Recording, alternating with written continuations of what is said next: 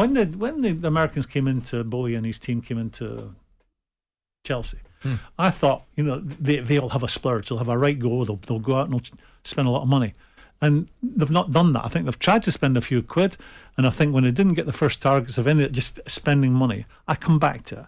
This chap Boehly taking over and being the man in charge of of transfers it's it's the, he's not the first very wealthy, very intelligent entrepreneurial type that comes in and spends money because he thinks he knows. But he's not picking game. the. Graeme, I understand that um, argument. I you're- think but he you're- is. you're- He got rid of everyone. picking the players. I think he must be. Do you think he's going to Tuchel saying, I tell you what, Tuchel, right? You can have Cucurella, right? No, I don't want him. But you're having him and I'm going to pay 60 million Right. quid. Is that what you Let- think is going on? Let, let me tell you how I see it. He would not be the first. If you, there's a long list of them, starting going back to Abramovich, going back to the, the Jack. Well, uh, d- d- Why is it, really de- it really depends who the li- well, you end up winning the league. You end up winning the league with this splurge. Yeah. So he, he must have got he must have been listening to someone and, and who they should buy and who they shouldn't buy. So let me let me finish this. So you've got he he's not the first. This guy Boehly is not the first to fall into this trap. I'm going to ask you the question. Did you be honest? Did you fall into this trap? Don't answer it just yet. You go to At the manager's request, yeah. uh, you go to Ellis Short, you go to Mel Morris, Yep. Moshiri. There's a whole list of people who are very smart in other forms of business. They Yep. come into football Now look at the people involved in football. This game is simple. I'm brighter than them, and they go out and have their trousers taken down because they think they know the business. And you This think Boehly's fallen into that trap? I think so. Yeah, they get the wrong voices. million for Cucurella.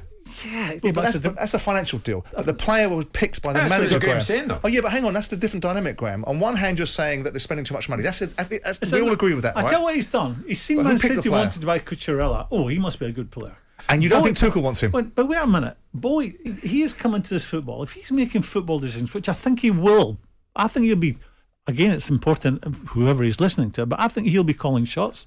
He is, is LA Dodgers are a baseball team. Hmm. It's like you with a football history going taking a job at the Well, who do LA led Dodgers, Abramovich? and Peter then start- Harvey led then- Abramovich. He had his trousers taken down early on. That's my point. everyone does. You as a manager would have had your trousers that- taken down when you first walked in the dugout. Nobody, nobody gets them right all the time. You have True. to see that. Nobody True. gets them right all the time. But I think when you're new in the job, how many businesses are bought by someone and what they insist on is a key men stay for a period of a year. Granted. to Look and learn.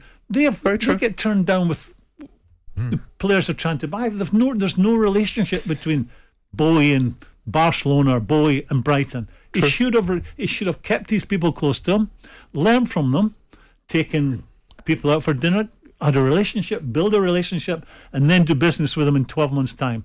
But he's, he's, he's, they've all left. The people who could have done this for him, introduced him, made the contacts work for him, they've all gone. Jim White and Simon Jordan. Monday to Friday mornings from 10 on AM, on DAB, via the Talksport app, and on your smart speaker. Talksport.